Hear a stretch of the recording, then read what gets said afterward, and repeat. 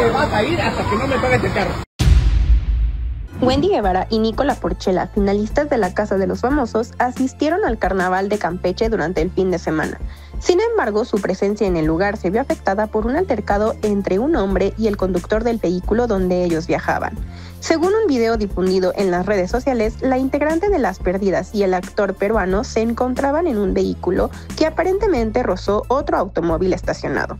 No obstante, se sabe que el incidente en donde se vieron envueltos Wendy Guevara y Nicola Porchela ocurrió mientras los famosos salían del hotel donde se alojaban. Asimismo, según la página de Facebook La Campeche, el conductor del vehículo en el que viajaban Wendy y Nicola intentó maniobrar para evadir a los seguidores que esperaban tomarse fotos y saludar a los famosos. Sin embargo, en el video también se puede observar el momento donde algunas personas señalan al conductor del vehículo con Wendy Guevara y Nicola Porchela queriendo intentar huir, pues presuntamente argumentó que tenían prisa. Para ese entonces, el conductor afectado trató de bloquear el paso del vehículo para exigir compensación por el roce que supuestamente había sufrido su automóvil.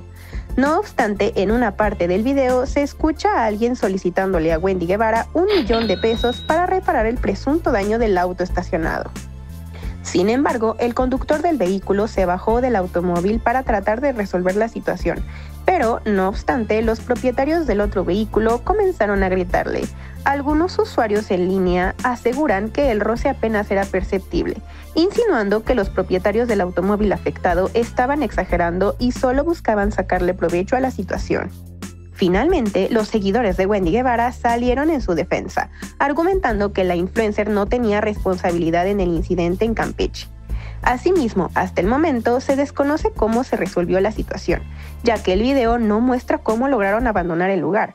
Además, los famosos no han abordado el tema en sus redes sociales. ¿Qué opinas al respecto? ¿Cómo crees que solucionaron el problema?